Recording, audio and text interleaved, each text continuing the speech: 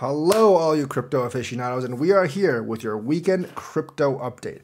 First thing on the list Hong Kong is updating its crypto policy, but this is not good news because they are making it tighter after reviewing after the JPEX scam. JPEX was an unregistered exchange that scammed people out of millions of dollars in Hong Kong. They received over a thousand complaints about JPEX. And because of that, they're looking to tighten the reins, making some products only available to fat cats and accredited investors, and um, basically tightening the bolts on middlemen. So like middlemen have to make sure that their clients know the ins and outs of crypto before they do any transactions. This is going to make crypto less accessible to some people in Hong Kong. This is just another fine example of how a couple of bad actors can screw it up for everyone. And trust me, crypto does have a lot of bad actors. If you don't know that by now, you're living in a cave because there's a ton of bad actors in crypto and it looks makes the rest of us look bad and it makes the feds want to come down on us hard. So what can you do? If you see a crypto scam, you should report it to the authorities. I don't really care if it's by a guy you really like. If you see like a crypto scam that's obviously like a Ponzi scam or a pyramid scheme, or is an exchange that's just wanting to, you know, take people's money, you need to report it to the authorities because, you know, I know a lot of us are like, oh, crypto can take care of itself. We don't need the feds to interfere. No, that's a bunch of BS because um, obviously it doesn't work. Self regulation has pretty much never worked for an industry. Because when they try to do that, the scammers always come out on top. And if they keep coming out on top, the feds are going to reduce our freedoms in crypto.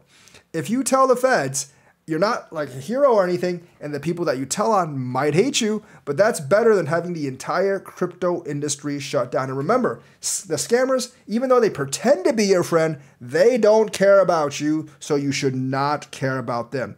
They need to be eliminated from the crypto space with extreme uh, prejudice, and that they need to do by by uh, having the feds sic their ninjas on them. Because you know the federal authorities do actually have a lot of power if they know which cryptos are actually scams.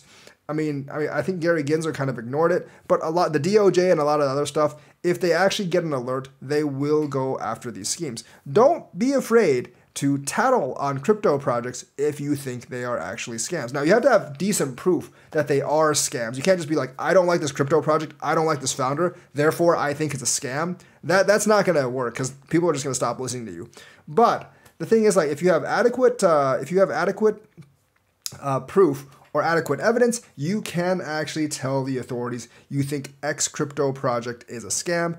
You know, it's better that it gets terminated while it's in its infant phase before it screws a lot of investors, then allow it to get big like FTX, and then have them screw a lot of investors in because that brings scrutiny on our industry, and that's bad for all of us. So remember, don't think those crypto scammers are your friends just because they're nice to you. If you think it's shady, if you think it's shady, get some evidence and then tell the authorities. Don't be afraid to tell the authorities because you're like anti government or whatever. That's nonsense. If you want our industry to survive and thrive, you actually need to get rid of these bad actors. And you can't do it by yourself because you can't just like go over there and beat them up. That's like illegal. But you can tell the federal authorities and have the federal authorities sic the ninjas on them. So that's the thing about Hong Kong's uh, change in policy. Um, like I said, it's mainly like they're going to make a lot of services only available to accredited customers, and then they are they're going to like clamp down on the middlemen. So it can actually make some services of crypto um, not viable or not available to the regular J, uh, John Does of the world like us. So that's this um, news about Hong Kong. The Reddit mods totally scam their crypto users. Yes, it wasn't that they just like, you know, said they were going to discontinue that crypto program. Now it shows that Reddit mods dumped tokens just hours before blockchain program termination. So the mods obviously knew this was coming, and of course, they took advantage of insider information. Now, because they're Reddit coins, I'm not really sure like how much prison this actually warrants. I do think it warrants a couple of smacks across the face, though because uh, you know a couple of slaps across the face because they are actually you know scamming people. Now I'm just kidding about the uh, slaps across the face. I think uh, it does warrant some fines and maybe some prison time because they were in a position of power and they abuse that position of power to scam over many, many people. So, a popular social network platform Reddit announced the wind down of its blockchain based community points program on October 17th, but just a few hours before, these mods who knew exactly what was coming dumped all their tokens um, and use this insider information to be enrich themselves and screw the rest of the community. And there needs to be comeuppance for that in a legal sense. Each subreddit had its own native token. Obviously, like Moons and Bricks were the um, the two examples, and they both went down like 90%. There definitely needs to be some legal remedy for this. They can't be allowed to get away with this with no penalty. Although if these mods aren't really working with each other, uh, with each other, I'm not really sure what you can actually do. But they definitely had access to more of this information uh, than the regular users because obviously Reddit told the mods way before the users actually got the notice of the information. So they were able to dump all those tokens. The coins probably like tanked because of that. And then everyone else was basically looking to fight for scraps at that point. So obviously they dumped the tokens at the expense of everyone else. So like Reddit admins told our cryptocurrency moderators beforehand, and three moderators sold Moon tokens on insider information. Moon price dropped 22% minutes before the announcement was posted.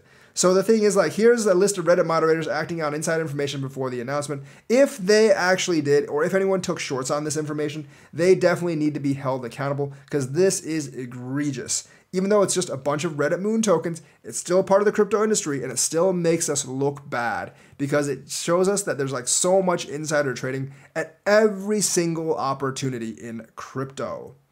Why Bitcoin SV pumped the, uh, this weekend? It's because they got perpetual futures on Binance. You know what that means? That pump is going to be accompanied by a giant dump soon. So obviously, it ripped nearly 60% this weekend amid a new futures listing on top global crypto exchange Binance. Um, basically, like it, I think it went to $54 from $34. But if it is because of the perpetual futures, you know they are going to be sold down in the same way. So like right now, I don't really know if it's actually reached the top or when it's actually going to reach its top, but it's probably fairly close. It, I mean, like we've seen BSV like pump you know, to egregious heights before. Like it basically like tripled almost like over two weeks once, and then it just dumped down harder than ever. I fully expect this to dump down by sometime next month. I don't know when it's going to dump down. I wouldn't take a short on it with leverage right now, obviously, because you don't know if it's not going to pump up again. Um, you know, perpetual futures can do a lot to the price of a coin. They're very, very dangerous to play with either way. So definitely don't take a short on them. But I would not buy BSV right now either, because you're essentially just playing hot potato, and someone is going to get burned, and that someone is very likely you if you buy it or take a short on it right now um, because obviously you can get liquidated if it pumps. And if you buy it right now, you're stuck with a coin for the next two or three years that won't really do anything because realistically, BSV does not have a future. No one actually cares about BSV. They have a lot of architectural problems, but outside of that, no one actually uses BSV. And uh, just like all the other Bitcoin forks, it's pretty much worthless at this point. I know Craig Wright won't like me saying that. He still thinks he's Satoshi Nakamoto, which he isn't, by the ways. I know he bought that uh, Satoshi Nakamoto Twitter account, but that Twitter account was created 10 years after Bitcoin was created, so it's not the official Satoshi Nakamoto account. Not by Satoshi Nakamoto, anyways. So, yes, BSV is pumping, but it will be accompanied by a massive dump very, very soon. So watch out for that and don't buy any BSV right now because it is a perpetual futures pump. Binance is going to restore European services. That's right.